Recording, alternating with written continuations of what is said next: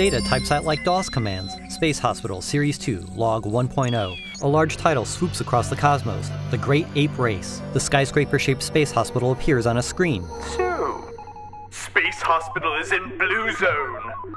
They better stay out of our way if they know what's good for them. Two simian doctors wearing staff IDs for Ape Hospital watch the screen. Their cylindrical ship soars along, its dome illuminated, and its bayonet like antenna cutting through nebulous clouds. Titles appear in 8 bit graphics Ape Hospital with Dr. Patsy, and starring Professor Wizard.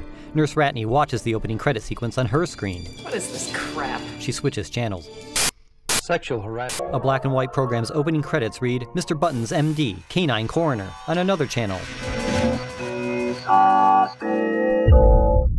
The title appears in a boxy graphic within a three dimensional computer generated grid. As Space Hospital soars through the cosmos, data appears Portside Forward West Wing, third shift. And so, the Centrality has decided that we have until the end of this fiscal year, approximately seven weeks, to turn a profit, or Space Hospital will be turned into a bakery.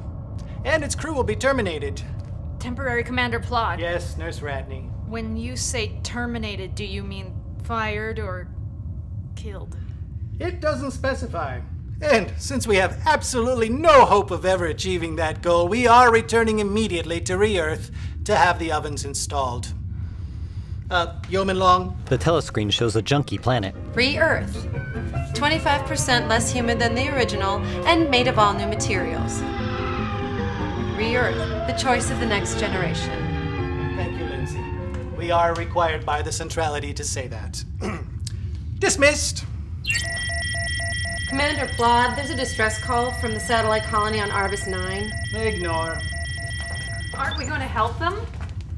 Nurse Ratney, we are already on a computer navigated course to re Earth. Uh, Isn't that right, computer? Final destination determined. It's out of my hands. Sir, what about our hospital mandate? Remember our motto, sir? Happy helping hands. Sir. Well, your mandate has failed, Sneed. Space Hospital is broke. So now you're the coffee drone. Your new mandate is to pour the coffee and keep your happy helping hands to yourself. Yeah, get back to work, hippie.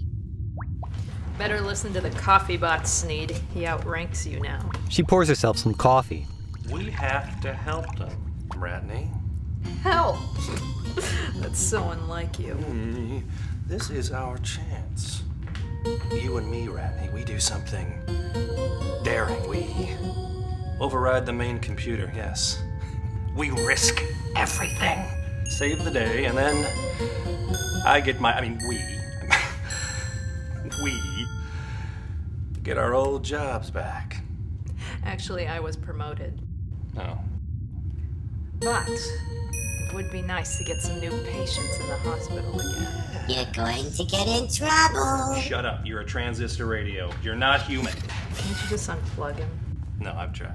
Later, our view descends through the bowels of the ship to a darkened room with a tile wall. Ratney carries a two way radio as she creeps inside. Copy, Sneed. Circuit breaker board is at the back of the men's room. Don't worry, I've been in here before. Nice. A girl's got to have hobbies. Why are we in here? The central computer has surveillance eyes everywhere. They're standing in a cramped janitorial closet. Except in here. I've got a robot standing guard. Move along, move along. Just a closet, nothing to see here. A robot keeps watch outside the closed door. Move along. Nothing to see here. Just an empty closet. Back with Sneed and Larry. Not a secret meeting or anything. Move along, move What's wrong with being a bakery? Nothing to see here. I, I spoke to Prince Plod. Centrality might make me head muffin chef. Larry go! I found the breaker switch. Be prepared to punch in the new coordinates as soon as I shut the computer down. Oh, Larry, come on! We need you. You're the IT guy. I'm not the IT guy. I'm a lab technician who dreams of one day being a baker. Sneed cruelly holds out a cable to him. Space bus. All right. Ratney throws a switch. A red light flashes near a sign. Danger. Switch must remain engaged for computer operation. We're gonna get the firing squad for this.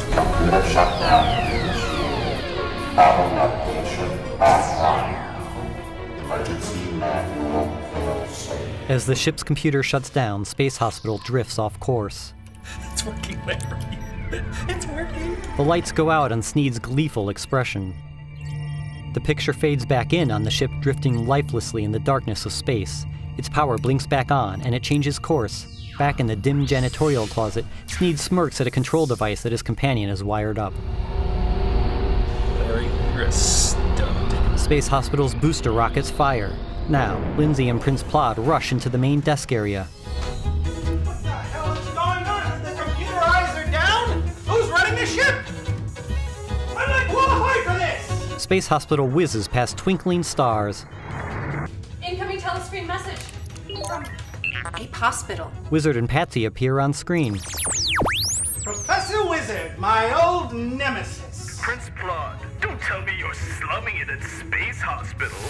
And it looks like you're en route to rescue the orbiting colony at Arbus 9. Yes, well, is that right? Lindsay nods. That's right! We are a hospital after all! Keep your puny pink appendages off that colony, Plod. We'll rescue it. Give it up, you circus chimp. We'll get those patients. Not if we get there first, hairless female. All your patients are belong to us. Ape Hospital flies up beside Space Hospital. The race is on. The ship sideswipes Space Hospital and takes the lead. Damn dirty apes!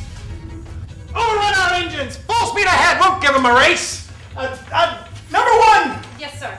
No, I, I have to go number one. Ratney, you're in charge. Don't do anything till I get back. Now, Data types out near a gaseous nebula, Arbus 9, Orbital Research Colony. A shuttle escapes from a burning space station just before it explodes. Incoming telescreen message. She patches it through.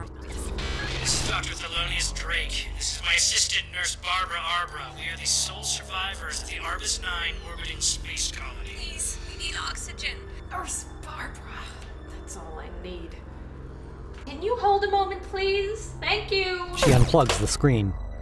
There's a small craft drifting towards us. It must be them. What should I do? Ratney paces indecisively. Lindsay looks up at her with her one good eye. Nurse Ratney.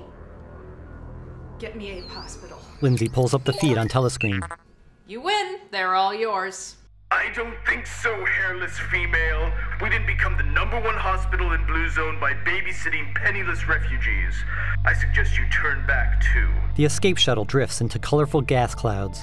The dark nebula surrounding Arbus 9 is a dangerous place. Too bad no one else survived. Until we meet again. Ape Hospital zooms off. Ratney sneers to herself as the telescreen goes to static. The eye patch wearing yeoman steps up behind her. Dr. Drake and Nurse Barbara are drifting without air. On call waiting. Are you there? Help! Should I try to pull them on board? Nurse Ratney. Larry enters. He uncovers a tray of muffins in bright neon colors. Ratney looks away pensively. Credits. Written and directed by Robert Poe. Produced by Susan Stobner. Starring Mary Buckley as Lindsay Long. Anne Ford Galliana as Nurse Barbara. Andy Hungerford as Dr. Drake. Rich Hutchman as Sneed. Robert Poe as Prince Plod. Adriana Rose as Nurse Ratney. Brett A. Snodgrass as Dr. Larry. Tim Solons as Dr. Good. Lovable Robot as himself. Created by Sigurd Euland and Robert Poe.